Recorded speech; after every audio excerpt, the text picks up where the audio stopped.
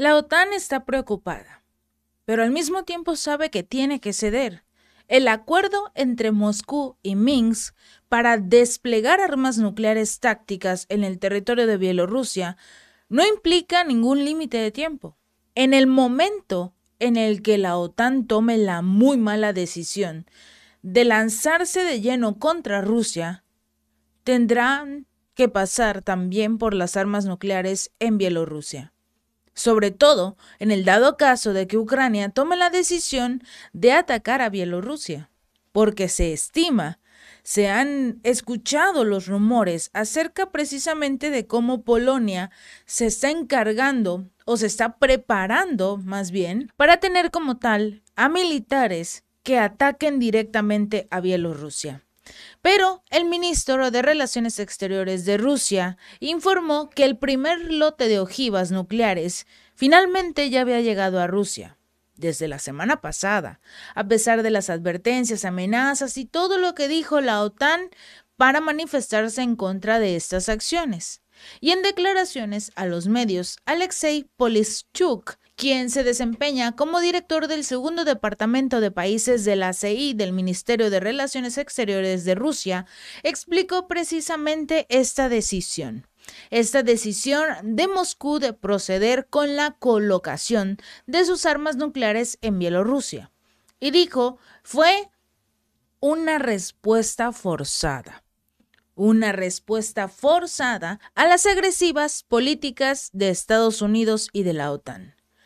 Cuando se estaban resolviendo los detalles del acuerdo Moscú-Minsk, las dos partes decidieron que las políticas destructivas de años de las misiones nucleares conjuntas de los Estados miembros de la OTAN eran muy importantes para tomar en cuenta durante este acuerdo, por lo que simple y sencillamente era lo mejor para ambos países.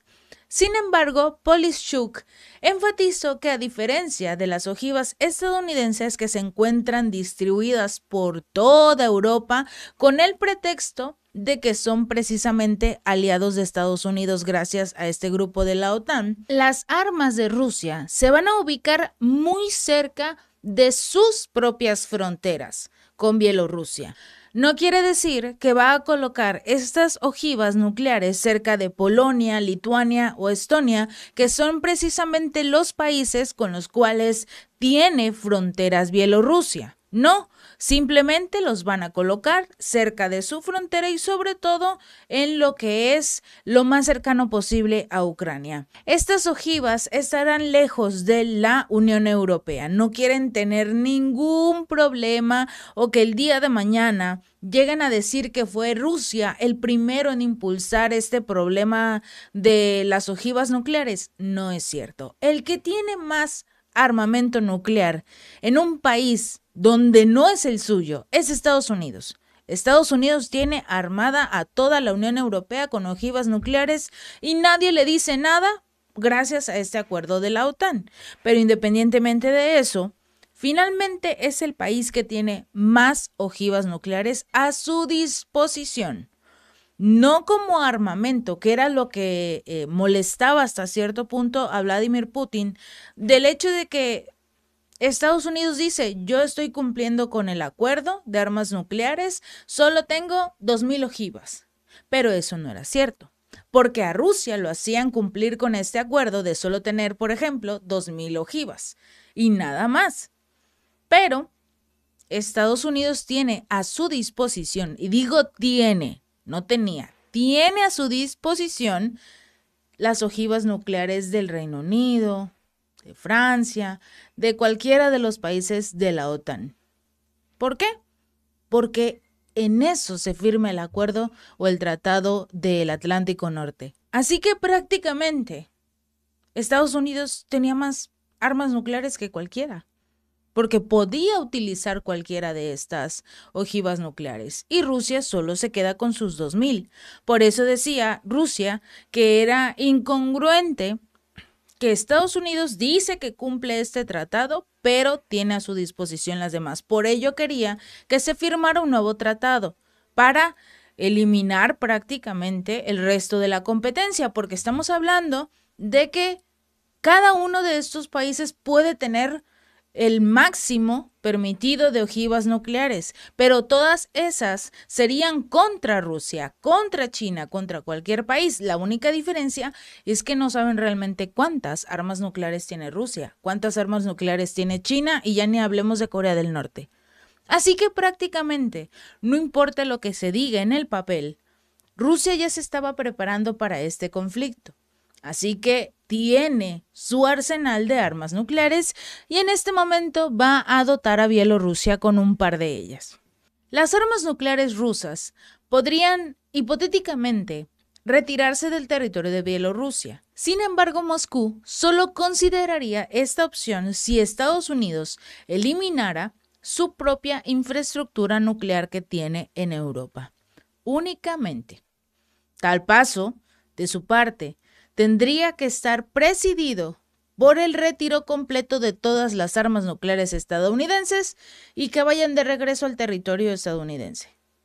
Por la eliminación de toda la infraestructura relevante que se encuentra en Europa. Esa sería la única condición. Y así como precisamente Rusia está empezando a mover sus armas nucleares con sus países aliados, recordemos que otra nación que quiere armas nucleares es Irán. Este país que están tratando de controlar para que no tenga armas nucleares. Y Rusia puede decir, es mi amigo, es mi aliado y yo le doy armas nucleares. Y ese es el temor que tiene Estados Unidos, de que Rusia empiece precisamente a hacer lo mismo que ellos, a colocar armas nucleares en los países claves estratégicos que son sus aliados.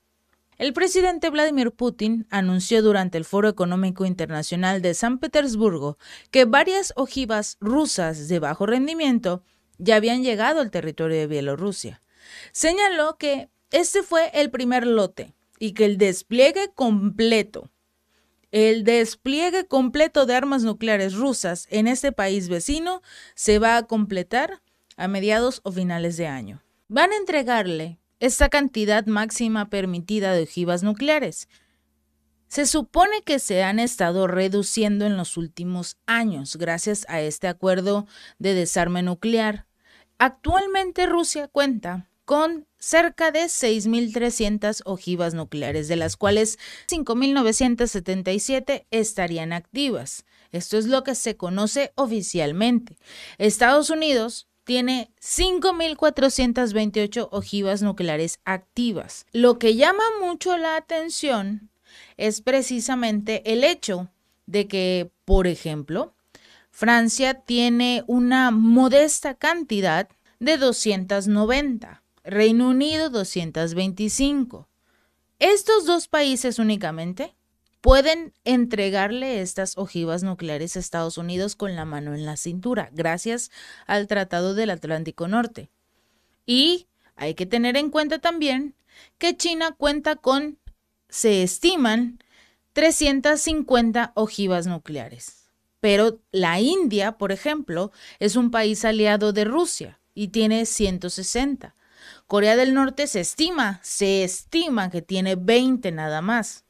Pero hay un país extra, Israel. Israel es aliado de Estados Unidos, tiene 90 ojivas nucleares. Es aliado de Estados Unidos porque pertenece a la OTAN Plus, a los aliados de la OTAN. No es miembro oficial del grupo. De igual forma, Pakistán tiene 165 ojivas nucleares, se estiman. Pero en el caso de Israel, no se sabe exactamente si solo tiene 90 ojivas nucleares o tiene más. Pero el presidente ruso, Vladimir Putin, anunció que se colocarían estas armas tácticas en Bielorrusia. Fue una respuesta impulsada gracias al Reino Unido porque ellos tomaron la decisión de proporcionar a Kiev municiones de uranio empobrecido en medio de este conflicto en Ucrania. Bielorrusia había estado pidiéndole a su contraparte que, como era su aliado más cercano, debería desplegar sus armas nucleares en su territorio por las actitudes agresivas hacia estos dos países finalmente, porque como saben que Bielorrusia es aliado de Rusia, también están en contra de Lukashenko. Así que sin lugar a dudas, este despliegue de armas este despliegue de armas está prendiendo cada vez más las alarmas, porque en cualquier momento, esperemos que no, pero en el dado caso de que estalle un conflicto militar mayor, o sea, cuando ya todos los miembros de la OTAN entren en el juego de Ucrania, porque es Ucrania el que está moviendo en este momento todo lo posible para como tal seguir con este conflicto militar y recibiendo recursos económicos, ¿verdad? Entonces, lo importante aquí es ver la cantidad de armamento nuclear que tiene cada uno de estos países. Porque Rusia tranquilamente le puede dar una cantidad muy significativa de armas nucleares a lo que es Bielorrusia. ¿Por qué? Porque Rusia maneja aproximadamente la mitad de la producción de uranio en el mundo.